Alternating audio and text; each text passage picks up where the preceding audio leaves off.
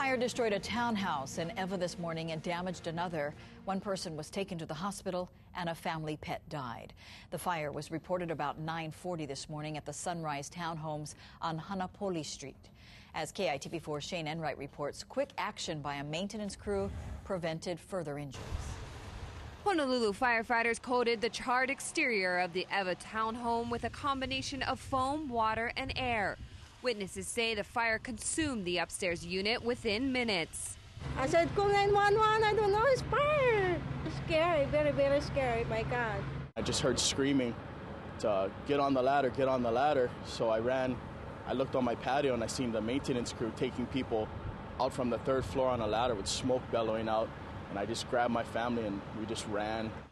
Ryan Panetta is the maintenance supervisor at the Sunrise Townhomes.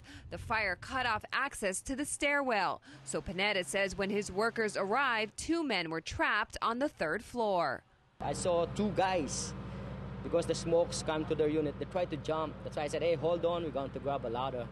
Home video shows flames and thick black smoke pouring out of the building. A fire spokesman says two people were in the unit when the fire started.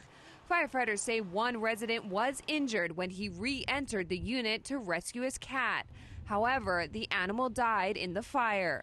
A fire spokesman says more people could have been hurt if not for the actions of the maintenance crew.